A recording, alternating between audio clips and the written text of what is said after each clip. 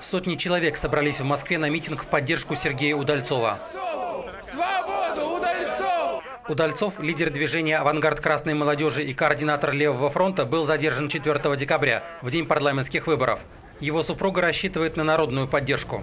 Эм, Один в поле не воин, как известно, да, но вы же видите, что народ э, стал подниматься за свои права, а вместе, вместе, пока мы едины, мы непобедимы, это наш лозунг. То есть мы рассчитываем, конечно, на поддержку масс. Последнее дело, по которому Сергей Удальцов сейчас сидит, абсолютно сфабриковано. Абсолютно сфабриковано. Об этом говорят юристы, правозащитники, общественные наблюдатели МВД и так далее.